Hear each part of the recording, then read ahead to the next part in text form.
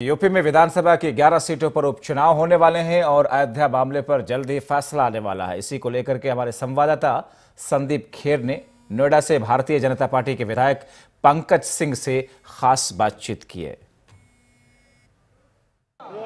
Cantt विधानसभा से सुरेश चंद तिवारी को Bharatiya Janata party ने अपना प्रत्याशी बनाया है। आज उनको ये लेके एक जनसभा आयोजित की गई, जिसमें नोएडा विधायक पंकज सिंह भी पहुँचे हैं। सर, क्या कहना चाहेंगे आज की जनसभा को लेकर?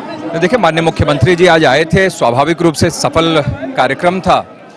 सुरेश तिवारी जी यहाँ से विधायक होंगे बड़ी मार्जिन से जीत कर जाएँगे इतना कह सकता हूँ। विपक्ष जो लगातार सर भारतीय जनता पार्टी पे हमले कर रहा है सुरेश तिवारी की जीत से वो बातें जो है वो एक तरह से झूठी वो तो आपने देखा हमीरपुर का उपचुनाव भी हम लोगों ने भारतीय जनता पार्टी ने जीता है।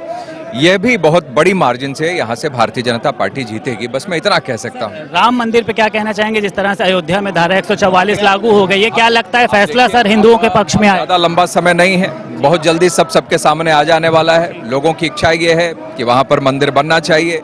इंतज़ार है सभी लोगों को। लेकिन मामला या पूरा मामला अभी कोर्ट में है और जल्द ही अब उस पर निर्णय आने वाला भी है। तो सभी लोग उसमें प्रतीक्षा रहते हैं। बहुत शुक्रिया सर बात करने के लिए। हमारे साथ नोएडा विधायक पंकज सिंह मौजूद थे जिनका कहना यह है कि राम मंदिर को लेकर जल्दी फैसला आएगा। संदीप खेर कैमरा पर्सन प्रियांश के साथ आर नाइन टीवी लखनऊ।